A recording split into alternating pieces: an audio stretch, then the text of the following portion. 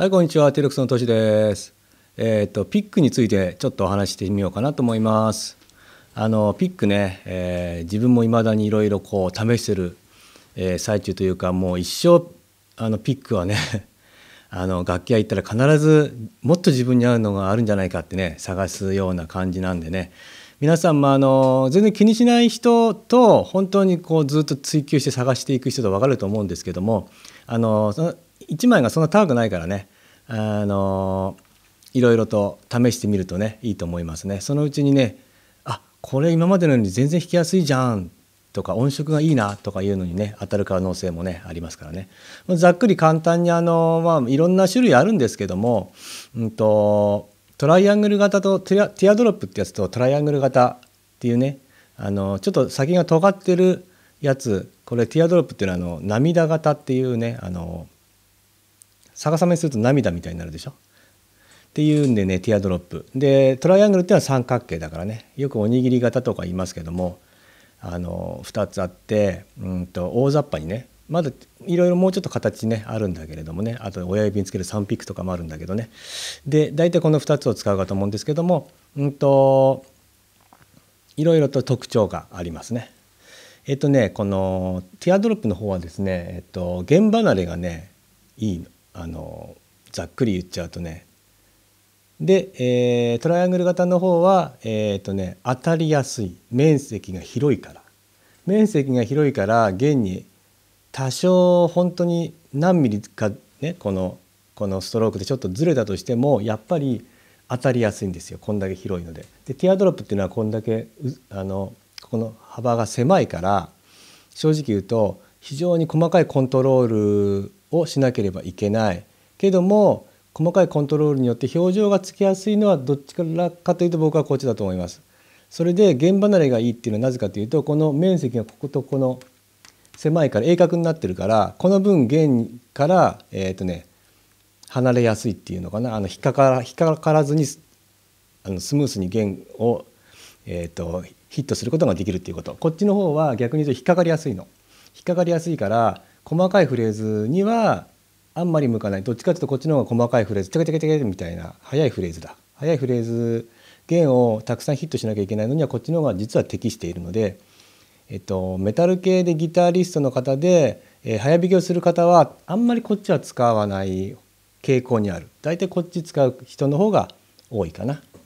うん、でねえっとえっとそうだね持ち方はこれ結局ねあの僕の場合はこんな感じ多分これが一番オーソドックスな、えー角度であり、うん、と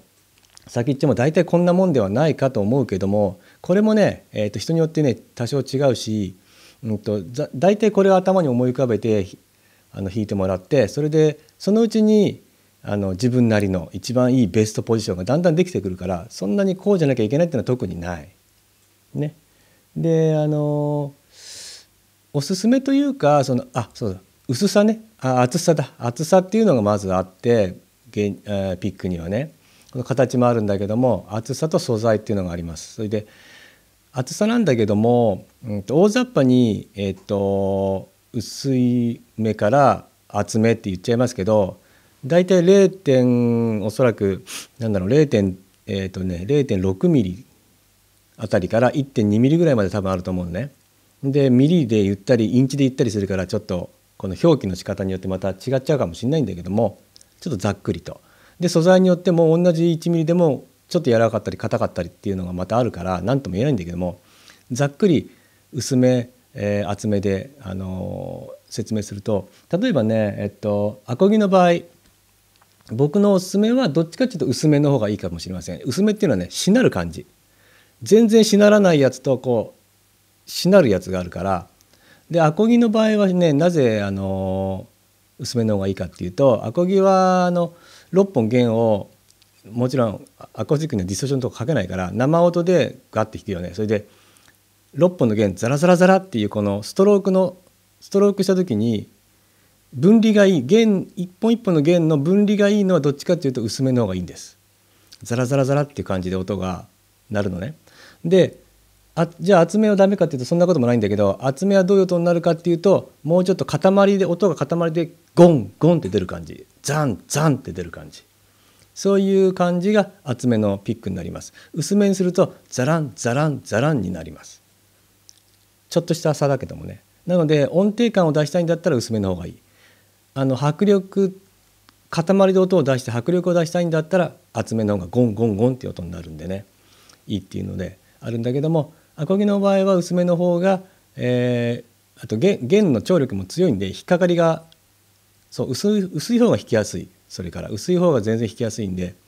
あの弦にあの引っかからないからね。硬い方が厚厚くて硬いピックの方が弾きづらくなる。あの弦との、えーと、抵抗力が強くなっちゃうからね。なんでアコギの場合はやや薄めの方がいいんじゃないかなってそういう意味でね思いますね。あと音色によって変えればいいと思いますでベースなんですけどベースもね全く同じうんことでまあミディアムこれ M と H って書いてあるけどミディアムかハードがいいかなだいたい0.8ミリから1ミリの1ミリぐらいがいいんじゃないかなと思いますね。まあ、あの0.77とか、えー、と0.9いくつとかっていうのもピックによってはあるんだけども、えーとね、0.6使ってた時もあったんだけど僕ね0.6使ってたなぜかっていうとね弾きやすいからやっぱりあの今言ったように柔らかい方がやっぱり弾きやすい。ところが音色がどうしてもね後からね,、うんとね薄いのはねどうどういう感じになるかっていうね後から低音がねドウンバーンって弾いた時にドウンってくる感じがちょっと薄いのがそういう傾向にある。硬いのを使うとガンってあの弦が振動すぐに振動するから、えーとね、塊で音がゴンって芯のある音が、えー、低音だ。低音がゴンって出る傾向にある。ので、まあ、ミディアムかハードがいいんじゃないかなとは思います。僕は今ちょっとわざとハードを使ってるんだけどもそれは弾きにくいんだけど音色がこっちの方が自分は好みだなっていう意味で、えー、使ってますね。でエレキギターなんだけどこれはもういろいろでさっき言ったみたいにあのリフをガガって弾く場合とあのギターソロをピロピロピロっとこう弾く場合とね多少、うんと、違うかもしれないんだけどまあ大体エレキギターで、まあ、メタル系ハードロック系の人はさっき言ったみたいにこのティアドロップ使う人がおそらく多いと思う。うん、でえー、っとね素材がね素材によってもだいぶちょっと違うんだけど、まあ、普通のはセルロイドっつって普通のプラスチックだねこれがツルツルしてるやつで、うんと、セルロイド系プラスチック一番多分一般にあるやつ。あの見た目もツルツルしてるし触った感じもツルツルしてる感じ。でいやえー、っとねそうえー、っとツルツルしてるので多分俺的にはこれが一番弾きうんだいぶ弾きやすいかなこれが。一番弾きやすい。欠点はね多分ギターはそうでもないと思うけどベースだとセルロイド系はねパキンって割れちゃう可能性というかプラスチックなんでね弦に負けてね、えー、割れちゃう時がある。まあギターは多分割れないそんなことないと思う。で例えばあとねカーボンっつうのもある。カーボンはねあのすごい硬い繊維なんで本当に硬いっす。もう薄い0.6とか薄いカーボンなのに全然こうしならない。だけどえっ、ー、とね削れもしないしあの独自な音になるね太くて硬いというかそうだね低音にあの低音に寄った音になる傾向になると思う。でねえっ、とねウルティムウルティムはね多分ね何だろう何が入ってんだかよくわかんないけどウルティムはねあのねちょっとね粘っこい感じ。手で持ってもなんかねペタペタこうなんか手にねちょっとひっつく感じがあるのゴムまでいかないけどちょっと柔らかい弾力がある感じだね。でもまあ音はセルロイドと似てるかな。でデルリンデルリンもね、えーと、プラスチックの一種なんだけどこれも柔らかいです。デルリンもすごく弾力がある。しなる、ね、で割れづらいと思う。デルリンの方が。セルロイドの方が多分ねあのあれがないから弾力性がないからパキッていっちゃうんだけどデルリンの方が少ししなりがあるんで割れづらいと思いますね。音色は明るめでうんとそうね明るめで低域っていうよりもこうはっきりした音になると思う。あとねメタルピックなんつうのもあるのね。これはねよくギタリストの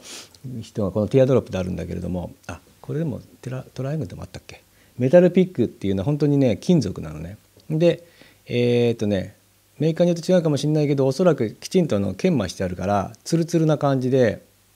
弦に対して、えーとね、弦離れがね結構いいかもしれない特に12弦ってプレーン弦でしょ？であれ金属がむき出しになってるでしょ？でそのむき出しになってるやつにこれのメタルピックだと